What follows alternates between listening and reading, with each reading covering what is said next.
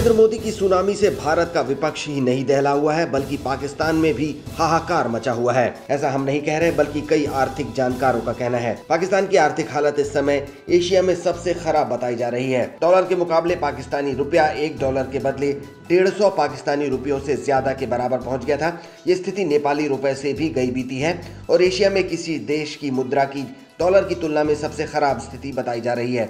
यही नहीं, पाकिस्तानी शेयर बाज़ार भी पिछले कुछ दिनों से लगातार निचले स्तर पर चल रहा है और एक ही दिन में निवेशकों के 1000 करोड़ रुपए से ज़्यादा डूब गए हैं।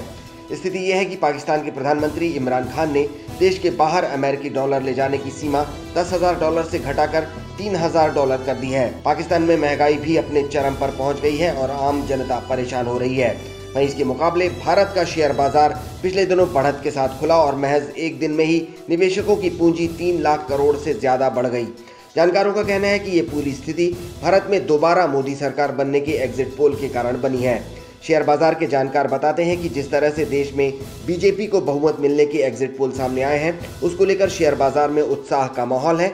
और अगर नतीजे भी एग्जिट के मुताबिक ही रहे तो शेयर बाज़ार और ऊपर जा सकता है। वहीं पाकिस्तान में आई आर्थिक मंदी और उसके कारण मचे हाहाकार के पीछे भी लोग मोदी की वापसी को ही कारण बता रहे हैं। आंकड़ों के मुताबिक पिछले कुछ दिनों में नरेंद्र मोदी को गूगल पर सबसे ज़्यादा पाकिस्तान में सर्च किया गया है।